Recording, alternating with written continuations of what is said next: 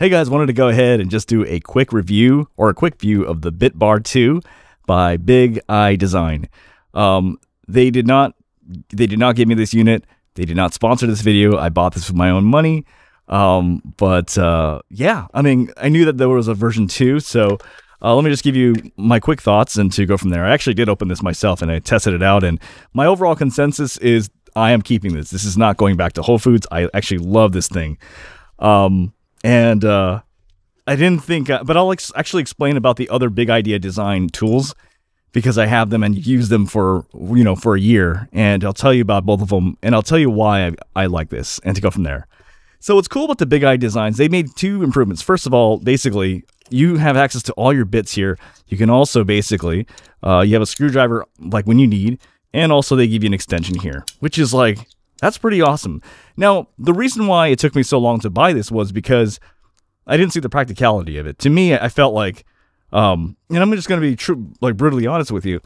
I use this tool here, which is a it's a Wera Rapidator connected to a Topeak, which in my opinion is like extremely effective. I actually the other day I put a like I modded like three multi tools just using this only.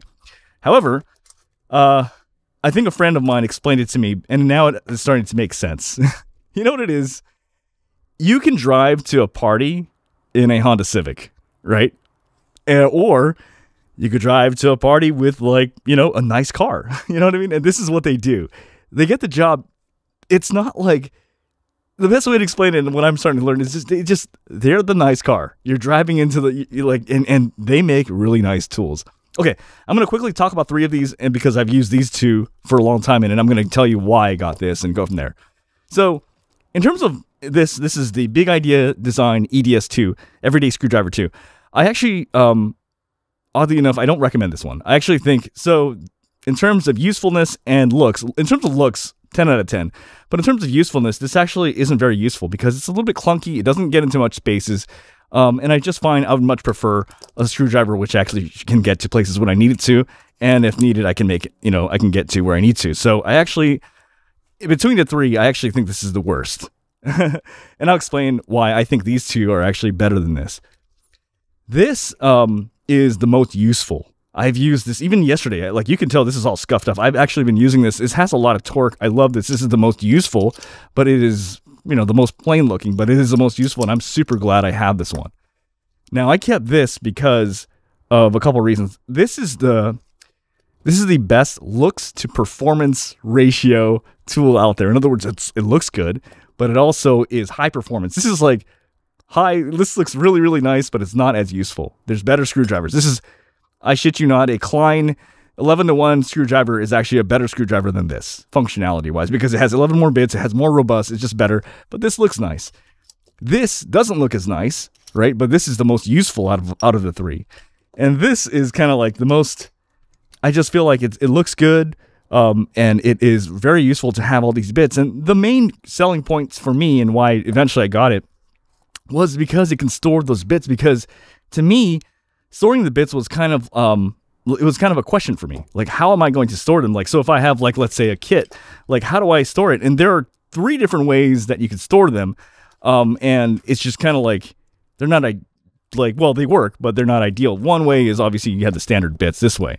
The second method, which I learned actually from um, Daphne, uh, let's see, her name is Daphne Devi, and her idea is genius. Like basically, she basically you would put it in bits like this, and you could actually bring that into your kit, and that works well as well. And um, another method that I pondered as well was just like, you know, why don't I just go simple? Just get like a small little Ziploc bag and just, you know, just go like this and um, you know, roll that up and that for sure is going to be able to shape to the form of the bag and you'll be able to easily bring what you need. But if I wanted to do it in style, this is how you would do it. I mean, this is just like, this is so sick. You know what I mean?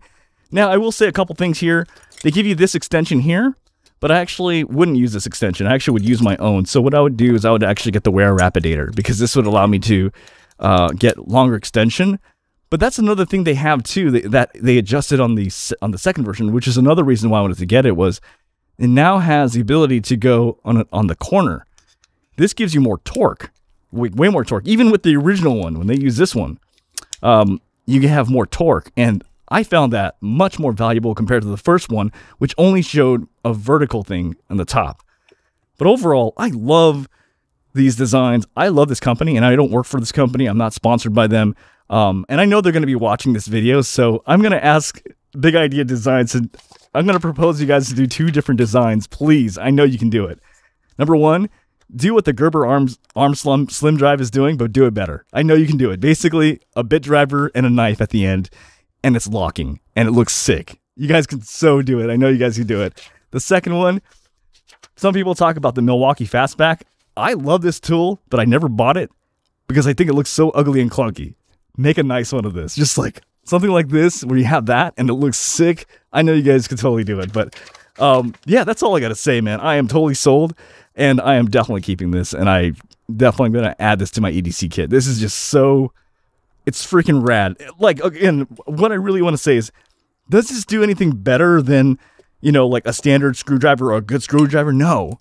But what I'm starting to realize about this company, you roll in style, man. You know what I mean? It's like you're not you're not driving in there with a Toyota Corolla. You're driving in there in, you know, insert your favorite car of choice into the club. You know what I mean? So it just is so freaking baller. Like that is just pimp. That's nice. Anyway, you guys have a great one. All right, bye.